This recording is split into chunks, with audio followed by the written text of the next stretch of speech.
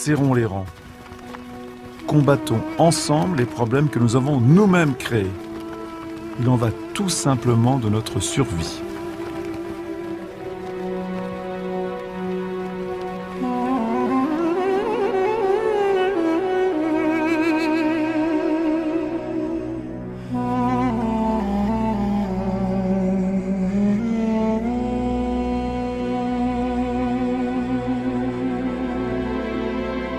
Cette pollution due à l'agriculture est malheureusement une réalité au niveau mondial.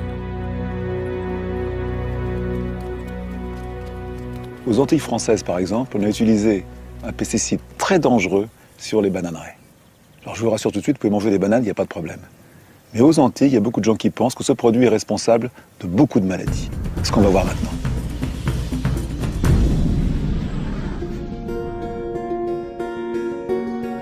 Antilles, on connaît cela. La mer turquoise et les plages de sable blanc. Mais derrière la carte postale, un drame se joue dans un silence inquiétant. La Guadeloupe et la Martinique seraient contaminées par un fléau invisible, le chlordécone. Le chlordécone, c'est un pesticide ultra puissant, utilisé dans les bananeraies. Voici l'histoire d'un scandale français. Une histoire euh, si elle n'était pas si dramatique, on pourrait dire qu'elle est fabuleuse, tellement elle est exemplaire. C'est-à-dire que dès les, années 70, euh, euh, le chlordécone, utilisé aux États-Unis, a révélé toute sa dangerosité, au tel point qu'en 1976, il était interdit aux États-Unis. Malgré tout, aux mêmes dates, on commence à l'employer aux, Antilles. Les Américains ont très vite constaté les effets dévastateurs du chlordécone sur la santé des hommes. La France, elle, a ignoré le problème. Elle a autorisé l'épandage de ce produit chimique sur les bananeraies pendant de longues années. On savait très tôt ce qui se passait, le drame qui se jouait là. Et pourtant, il a fallu attendre 1990-91 pour avoir une interdiction du produit. Déjà 10 ans, 15 ans de perdu. François Veyrette a fait de sa vie un combat contre les pesticides. Il enquête partout dans le monde sur les ravages de ces produits agricoles. Aujourd'hui, il retourne en Guadeloupe pour faire un point sur la situation. Car le constat est accablant. 4500 hectares de la Guadeloupe sont contaminés, essentiellement des bananeraies. Le pesticide est dans les sols, et ce pour des siècles. Les terrains sont tellement pollués que l'État a interdit à leurs propriétaires de relancer des activités agricoles pour éviter toute contamination. Léon Rella voulait faire de l'élevage sur ces terres gorgées de chlordécone. Désormais, c'est impossible. Tu demandais par écrit à la chambre d'agriculture, voilà mon problème, qu'est-ce que je peux faire de l'élevage maintenant Ils m'ont dit non, d'attendre, parce ce qu'il paraît, on trouve des traces du chlordécone dans la graisse animale. D'attendre jusqu'à 4 années que j'attends, on me dit absolument rien. Interdit de toute activité, Léon ne peut plus rembourser les terres qu'il a achetées à crédit. Aujourd'hui, la banque menace de le faire expulser. Sans aucune aide de l'État, Léon Rella est acculé financièrement. Je ne me laisserai pas faire. C'est pour ça que j'ai dit publiquement que moi, c'est une guerre envers l'État français que je mène. C'est vous qui portez le chapeau Exactement. Moi, ce que je vais faire, déjà me battre, tirer les armes dehors, je me fusille, je suis armé, premièrement, je n'ai pas peur de le dire, et aller jusqu'à mon suicide seul de ma famille, parce que je ne peux pas vivre, accepter ça. Moi, je prends mes responsabilités d'aller jusqu'aux armes. Là, je leur dis, frère, moi, clair. Je le ferai, c'est sûr. Léon Rella n'est pas un cas isolé. Ils sont nombreux à être dans cette situation. François Veyrette nous annonce d'autres mauvaises nouvelles. On voit très bien aussi ici comment les eaux ont pu être polluées, puisqu'on voit la rivière qui se situe juste en contrebas de la bananeraie. On imagine facilement que les pesticides ont été lessivés et sont venus polluer les, sédiments de cette rivière euh, pour des dizaines et des dizaines d'années, puisque ce fameux chlordécone est un pesticide euh, très très persistant dans l'environnement.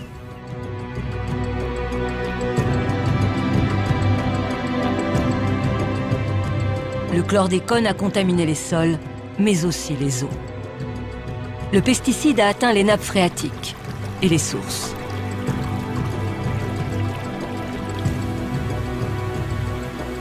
Parfois, des sites de captage d'eau ont été directement placés sur les zones bananières. L'eau remplie de pesticides a continué d'approvisionner les robinets des populations jusqu'en 2001. Aujourd'hui, la Guadeloupe a mis en place des centres de traitement d'eau. La population peut enfin boire de l'eau potable. Mais le mal est fait. Le chlordécone a contaminé des générations entières.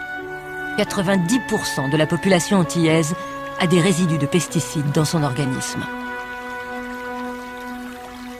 On trouve des résidus de, ce chlordécone et d'autres pesticides dans quasiment la totalité des organismes des, femmes enceintes.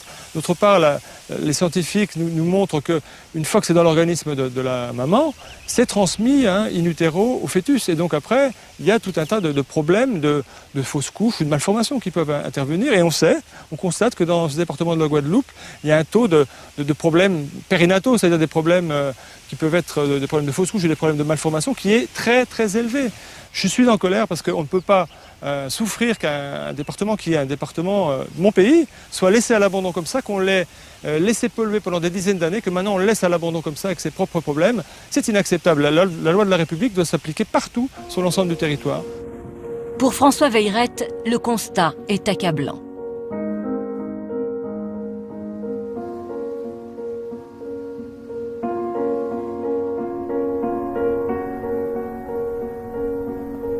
La Guadeloupe a été pleinement touchée. Mais en Martinique, le pesticide a frappé 25 000 hectares de bananeraies. Près de 13 000 Martiniquais dépassent la dose journalière admissible de chlordécone. Un chiffre qui met en lumière le laxisme de l'État.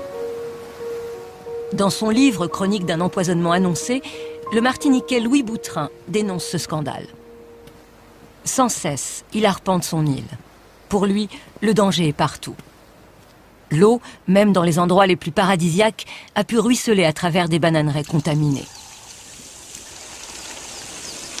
On a eu des témoignages de riverains qui viennent depuis la petite enfance s'approvisionner en eau.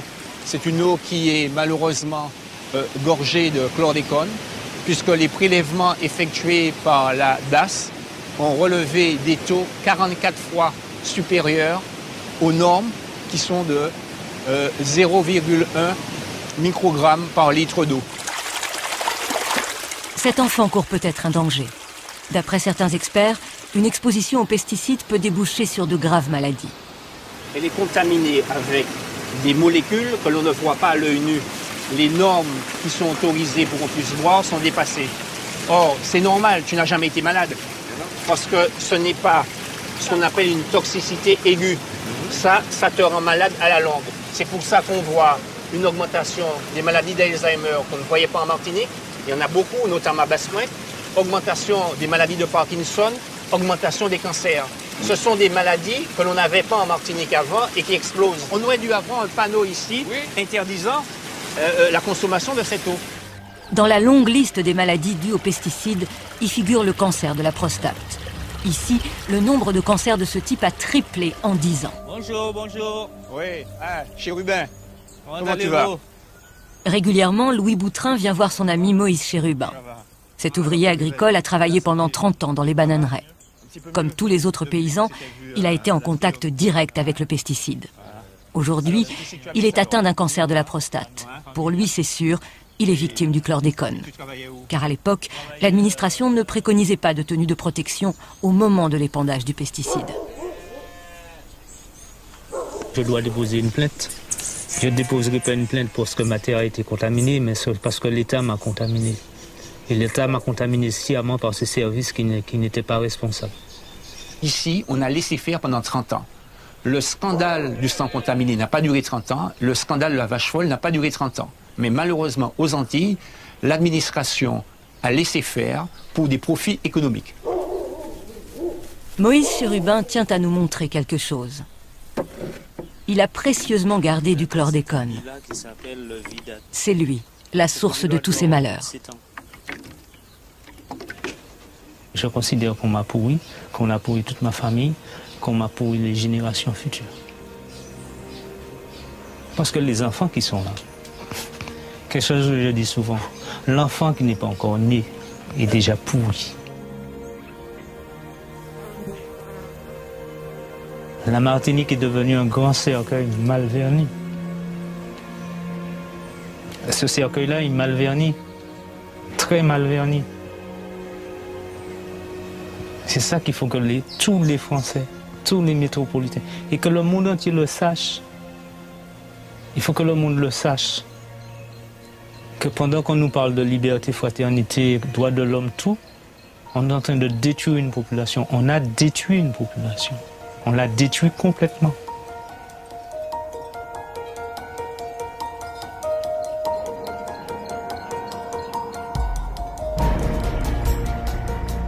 Nous sommes allés rencontrer des vendeurs de pesticides. Pour eux, l'affaire du chlordécone n'existe pas.